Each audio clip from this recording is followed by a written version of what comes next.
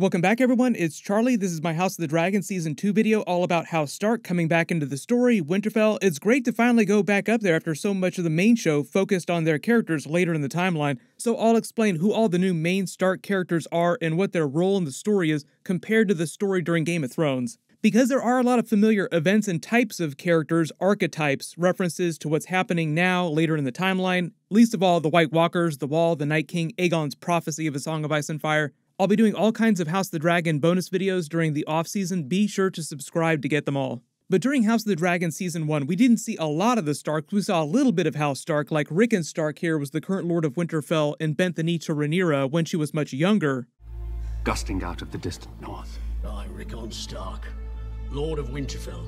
Aegon saw absolute darkness. But aside from that, they only mentioned them again during the finale, and that was about it. Like just a name drop, because they're going to be much bigger during season 2. There has never lived a Stark who forgot an oath, and with House Stark, the North will follow. And one of the reasons why they're so much closer to Rhaenyra's side in the Dance of the Dragons is because they went through a similar event that what's happening to Rhaenyra right now with the Greens trying to steal the Iron Throne from her. And because of a very Jon Snow type of reason, which I'll talk about in a second. But actually, going back in the timeline, House Stark has actually been much closer to the Targaryen family just in general than you probably thought. Mostly because of Aegon's prophecy and the role the Starks played in maintaining the wall in the Night's Watch. Obviously, the North, very important to Aegon the Conqueror and everybody that came after him. So, quick history lesson on what happened with the wall in the last several hundred years before the conquest. Before Aegon's conquest, all seven different realms had their seven different petty kings, and each realm had a long standing pact going back to the original Long Night that all of them would work together to support the wall in the Night's Watch. The timeline of the show is a little more condensed than the timeline of the books. In the books, the last Long Night was about 8,000 years ago. On the show, was more like 1,000 years ago. But you get the idea. The last long night was several hundred years ago before Aegon's conquest. And in those many hundreds of years, the realm had grown much more lax in maintaining the Night's Watch, like people's sons, grandsons, their successors just generally slowly stopped caring about what was happening at the Wall, just because activity at the Wall had grown so quiet. So when Aegon the Conqueror had his dragon dream and conquered the Seven Kingdoms to unite the realm, there was this greatly renewed interest in the wall, the Night's Watch in the North just in general, because in his dragon dream he saw the threat of the White Walkers coming from the North. So here's where we get to the relationship between the Starks and the Targaryens. Torrhen Stark was the current king of Winterfell at the time during the conquest. They were still the kings of winter at that time. He bent the knee to Aegon rather than face Balerion the Black Dread's fire because of what Aegon was doing to everyone who would not bend the knee. And even though the books only hint at this, they kind of imply because of what they did on House of the Dragon with Aegon's dragon dream, his real reason for conquering the Seven Kingdoms is that Aegon actually told Torrhen Stark about the dragon dream in the prophecy of a Song of Ice and Fire, and that's what convinced him to bend the knee. Under Aegon's rule, they sort of had this renewed interest in maintaining the Night's Watch in the Wall. That continues all the way to the time of King Jaehaerys, who took the Iron Throne from Maegor the Cruel, even though there was a lot of infighting in the Targaryen family during that period, during Maegor the Cruel's reign. And over the years, there'd been a little bit of acrimony between the Starks, the rest of the realm, the Targaryen family, especially what happened with Maegor. Jaehaerys' wife, Alysanne, smoothed a lot of that over their relationship with the Starks, and she flew to the wall a lot with her dragon Silverwing, flew along the wall with her dragon. So all the way to the time of King Jaehaerys, like right before Viserys takes the Iron Throne, you still have the throne being very interested in what's happening in the north. This whole idea of Aegon's prophecy still being a really big thing. Then when we get to the main events of House of the Dragon Season 1 in the Dance of the Dragons, a lot of what's happening in the Stark family is similar to what happens in the Targaryen family with Rhaenyra and the Greens. So Rickon Stark is the current Lord of Winterfell. He bends the knee to Rhaenyra during this period, but in that giant time jump between episode 5 and episode 6 is like a 10-year time jump. Basically the exact same thing happens within House Stark. There's this whole battle of the succession. And this is where you get to Cregan Stark, like the new main character inside House Stark in Winterfell during season two. Prince Jacaerys will fly north and then to Winterfell to treat with Lord Cregan Stark for the support of the North. He's meant to be about the same age as Jacaerys, as Rhaenyra said, Oh, you'll get along just fine. This will be great. They'll totally support us. That's why she decided to send him instead of sending Lucerys. In the books, Cregan is just a little bit older than Jacaerys. And what happened during all those time jumps between episode 5 and episode 6 is that Rickon Stark, the older Lord of Winterfell, passed away before the events of episode 6. And when that happened, Cregan was way too young to be Lord, so his uncle, named Bernard Stark, Rickon's brother, became regent until Cregan came of age. But right towards the end of the time jump in episode 6, Cregan comes of age and his uncle Bernard refused to hand over control of Winterfell in the north, so the Starks had their own minor little Dance of the Dragons type of event over the Battle of the Succession.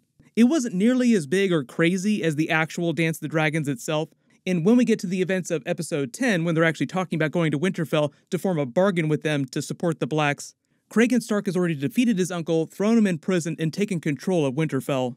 What happened to Cregan between the events of episode 6 and episode 10, though, is that after he defeats his uncle, he winds up marrying his childhood sweetheart named Alyssa Norrey. They had a son who he named Rickon after his father, but his wife died soon after because of the childbirth, because of complications, much like Rhaenyra's mother. You have to remember that this is meant to be a model after medieval period in real history, so the technology, the science is meant to be about the similar level. And women in childbirth during that era had about a 50% life expectancy, so it was pretty even odds, like flip a coin as to whether or not you would survive childbirth, even if you were a totally healthy person. So, on the show, one of the reasons why they select Winterfell as one of the first great houses that they want to go for is because, one, they're thinking about their overwhelming numbers of troops because the North is just so huge. There's so many people that live there. They have a massive army available to them. And because of the relationship between Winterfell and the Vale, it also sort of gives them the backdoor support of the Vale as well. If we're to have enough swords to surround King's Landing, we must first secure the support of Winterfell, the Eyrie, and Storm's End. So it allows them to box the Greens in up in the north, like they have no support in the north. And Rhaenyra is banking on this long-standing relationship that goes back to the time of Cregan's father, Rickon Stark, and his oath bending the knee to her. One of the other earlier reasons why Jacaerys and Cregan got on so well, just as bros, like two dudes just hanging out, was because Jacaerys reminded Cregan of his own younger brother who had also passed away before the events of episode 10, like heading into season 2. So both of them had recently lost a younger brother because Jacaerys just lost Lucerys to Aemond and the Greens. R.I.P. Lucerys. The other big reason why Cregan winds up being a huge supporter of Rhaenyra's side is because of a big rumor that comes from Mushroom in the books. They might change the way this happens on the show, though, a little bit. There was also a rumor that when Jacaerys flew Vermax to Winterfell to speak with him, he stayed there for a while, like it wasn't just an overnight trip. While he was staying there, Jacaerys fell in love with Cregan's half sister, a bastard named Sara Snow, and reportedly it was this huge scandal in Winterfell. Cregan got super pissed off, finding them in bed together. Remember, Jacaerys is currently betrothed to Baela, so it's also a scandal for that reason as well. And the rumor goes on to say that Jacaerys had secretly wed Sara Snow prior to them being found in bed together in the Starks' Godswood, the same heart tree, the same weirwood that they feature all the time on the main show. Supposedly, after Cregan found them in bed together and found out that they had gotten secretly wed, he formed a pact of ice and fire with Jacaerys, just the two of them together. Talking about more Song of Ice and Fire references, the Jacaerys' and Sara Snow's firstborn daughter would wed Cregan's son Rickon Stark someday. So obviously this sounds very familiar. Something similar happened during the events of Game of Thrones and Robert's Rebellion because Rhaegar Targaryen, member of the royal family, secretly got married to Lyanna Stark and they had a child together, now legitimate because they had been married when the child was born. Jon Snow, Aegon VI, the son of Ice and Fire, the prince who was promised. There are also a lot of rumors that Jacaerys wound up fathering a child with Sara Snow, but there's no record of the child existing. And we don't know a lot about what happened to Sara Snow after these events. Without getting too far ahead of the story, like Cregan continues to be a very big character. So, like the Starks are a big character during the Dance of the Dragons, along with the aftermath of the Dance of the Dragons. So, I don't want to talk too much about what happens later in the books because it does wind up being kind of spoilers.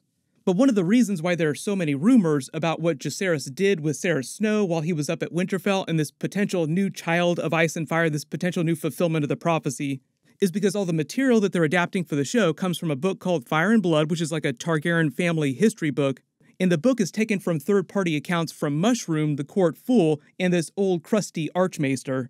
And frequently, the Archmaester will disagree with Mushroom's account of things because all the spicy stuff in the books, all the really crazy stuff, comes from Mushroom's accounts. Like, guess what Prince Jacaerys did with the bastard up at Winterfell? They totally had a child and had a secret marriage. There were also a lot of rumors that they sort of hushed up what Jacaerys and Sara Snow did because they didn't want it to cause problems for Baela Targaryen because he'd been betrothed to her, and Rhaenyra's side, along with the Starks, didn't want to completely throw her under the bus either. So a lot of those things sound very similar to what happened with Ned Stark, Jon Snow, Rhaegar Targaryen, Lyanna Stark, where Rhaegar and Lyanna get married, have Jon Snow, and then later Ned Stark tries to cover it all up no, no, no, this isn't uh, Rhaegar's son. This is my bastard. I brought him back from the war. I totally had him with a random girl. Keeping secrets up in the north is just par for the course.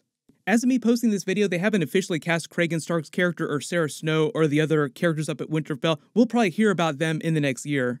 I've already done a couple House of the Dragon Season 2 videos. You can click here to learn about the alternate ending to Season 1, all the deleted scenes, and click here for all my House of the Dragon episode videos. Thank you so much for watching, everyone stay safe, and I'll see you guys in the next one.